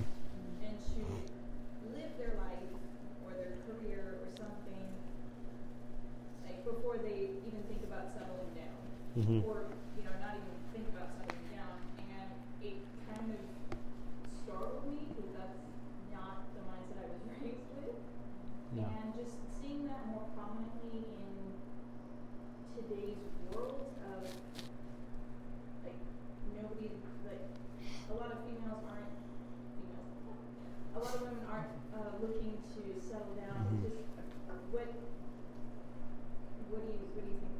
Yeah. So I don't know if you caught the end of my talk, uh, but I, I did address that to a certain extent just by saying that basically, like, God wants us to settle into a state of life because that's where we're going to mature. That's where we're going to come to our fullness as Christians, and that's where we're going to be able to serve Him best.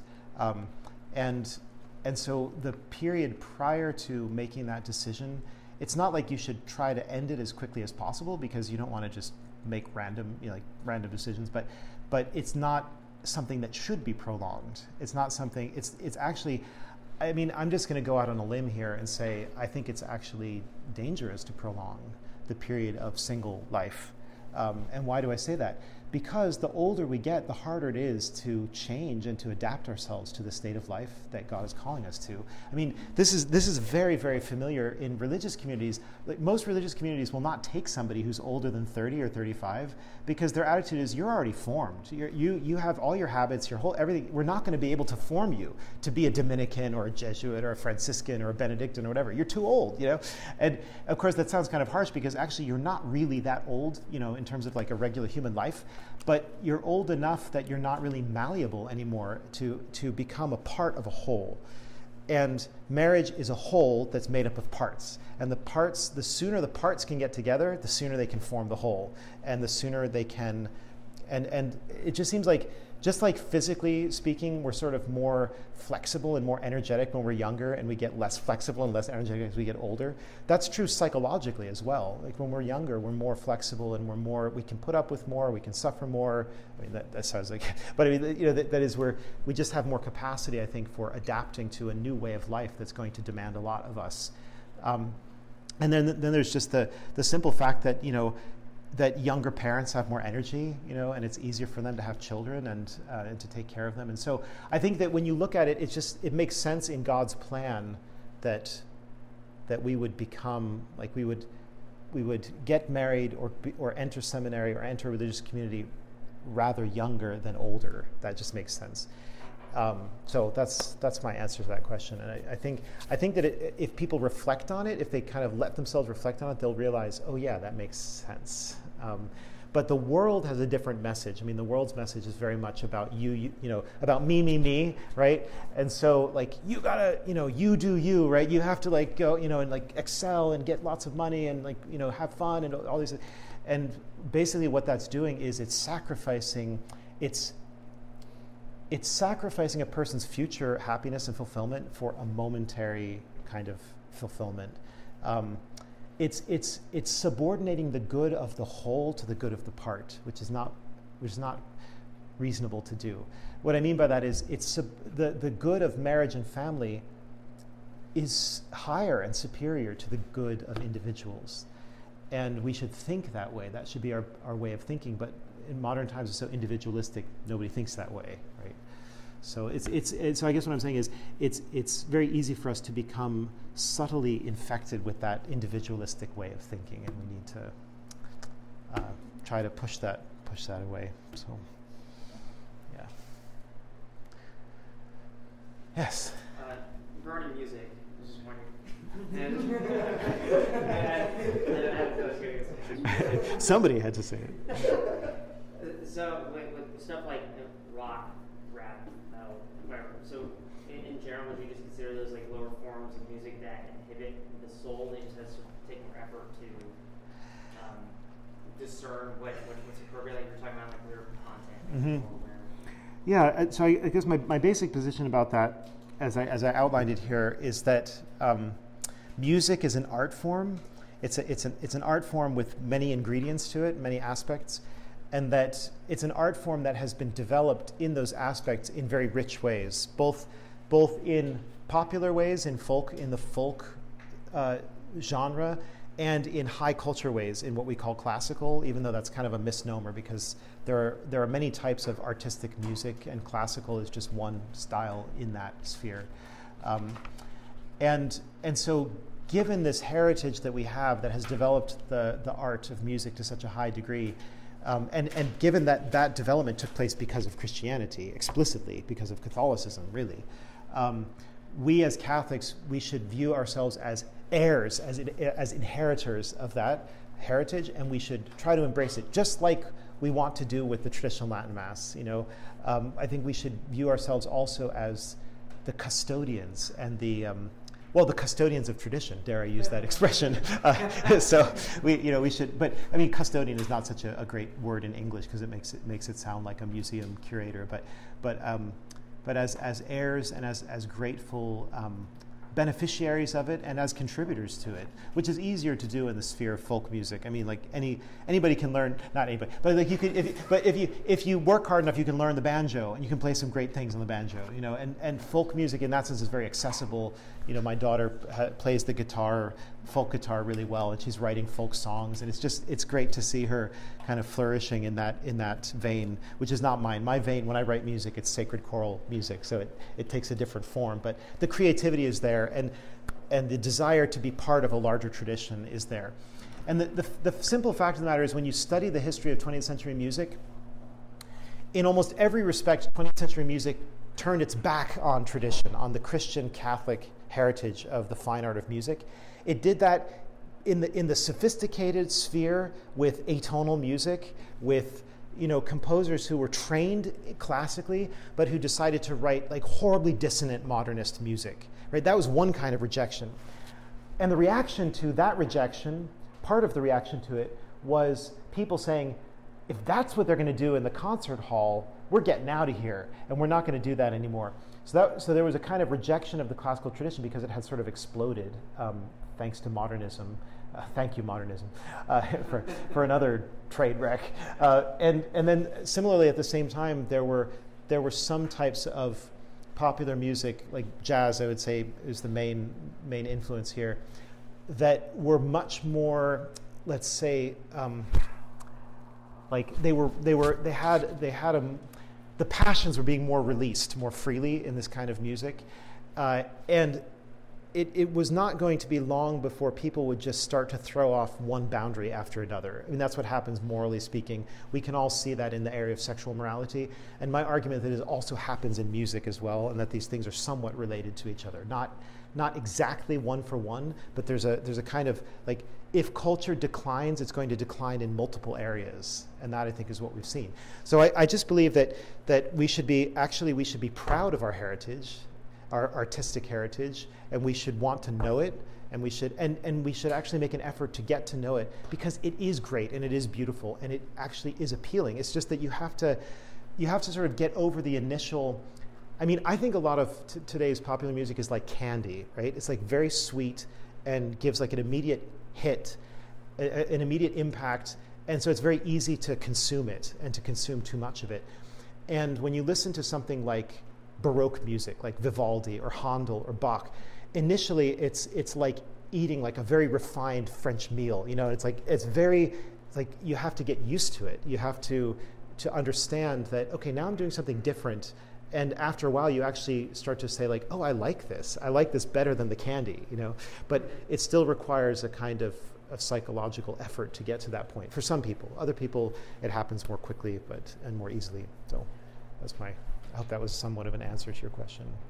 Yeah. Yeah. Okay. Good.